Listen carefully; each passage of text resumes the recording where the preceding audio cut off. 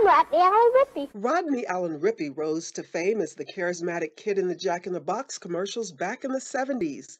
Now, more than 50 years later, he's a successful adult. Keep watching to find out how he got his big break and what he's doing now.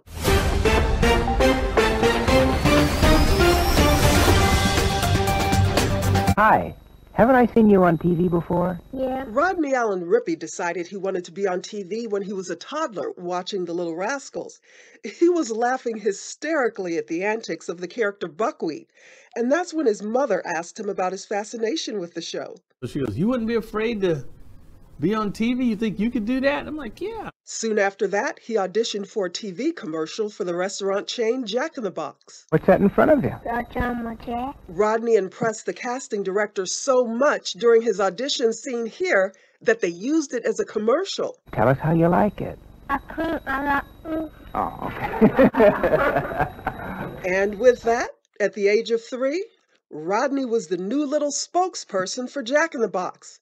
And after that, it was one opportunity after another. Dinah Shore and Mike Douglas and Johnny Carson and Merv Griffin and the the commercial campaigns were running like crazy and and TV show after TV show.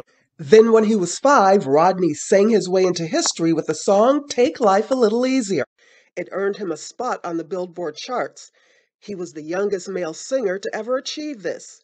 He reached another milestone when Mattel named a doll after him. Thank you. Also, around that time, he appeared in the movie Blazing Saddles. Meet Rodney Allen Rippy. The busy young actor also guest starred in the sitcom The Odd Couple, the variety show Laugh-In, and the hit series The Six Million Dollar Man. In 1974, he delighted audiences when he was a presenter for the first American Music Awards.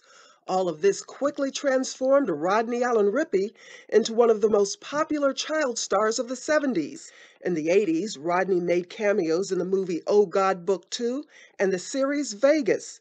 During the 90s, Rodney appeared in the series Parker Lewis Can't Lose. How you doing? I'm Rodney Allen Rippy. And now in the 2000s, Rodney is proving there's still a place for him in Hollywood. He's showcasing his talents behind the scenes as a camera operator and producer while continuing to act in front of the camera. He also has his own marketing company. As an adult actor, Rodney had TV and movie roles in How He Goes to Hollywood, The Misadventures of Campy Lane, Time Girl, and Aliens Attack Tombstone, among other projects.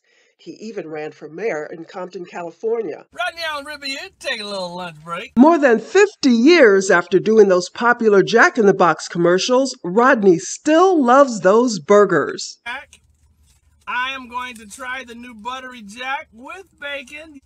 Mmm. Thank you for watching our video. If you like what you saw, feel free to subscribe.